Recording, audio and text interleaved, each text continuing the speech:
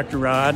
Uh, I've been challenged by the people at the Nashville, Tennessee Giving Machine for the 777 challenge. Three consecutive sevens into the machine, and it will buy one of every item in the giving machine. I brought my grandson. He's going to help me with the technical aspects of it.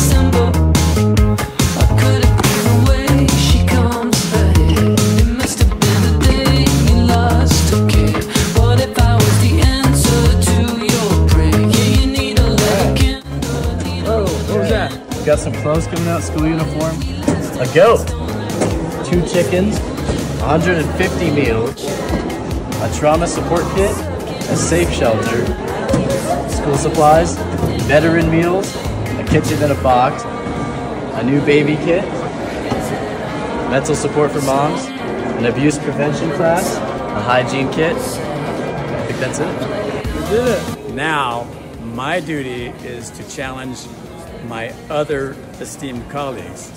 And this one's going out to you, Dr. Phil Hoops, Senior and Junior from Hoops Vision in Salt Lake City.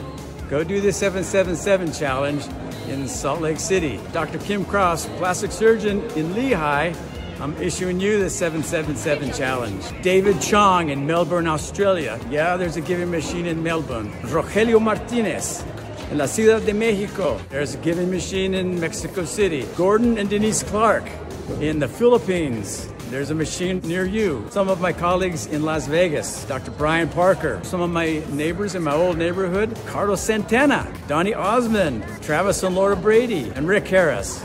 Do the 777, do some good.